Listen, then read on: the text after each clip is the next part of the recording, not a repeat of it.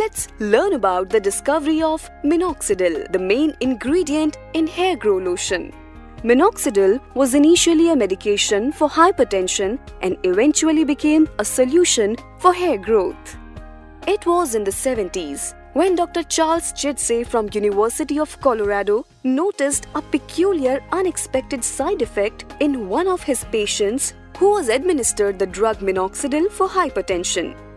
The patient was a woman in her mid-40s and she had abnormal hair growth on her face, mostly on her temples.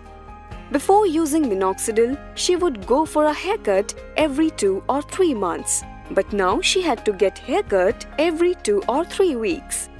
Dr. Charles, along with two dermatologists, conducted various experiments and formulated a minoxidil solution that could be used on the scalp to stimulate hair growth in patients with genetic hair loss.